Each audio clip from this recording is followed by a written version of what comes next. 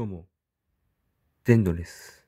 今回ですね、M ステにカトゥーンが出演しましたね。なんかファンタジナを、ジナを披露しましたね。それを聞いて思ったのは、最高でしたね。いやー、本当に聞いてて感動しましたね。俺、カトゥーン、俺結構好きなのでね。まあ、M ステ出てて、まあ、嬉しいなと思いましたね。いやー、それに対してね、さっきツイッターとか見たら、またアンチどもが違反しましたね。カツン、あいつは絶対口パクじゃん。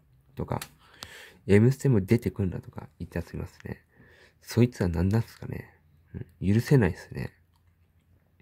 カツン、あれ最高だと思うけどな。違反する理由がわかんないんですね、あれ。うん。ほんと、アンチども許せないなと思いますね。ふざけんなって思います。そんな感じです。バイバイ。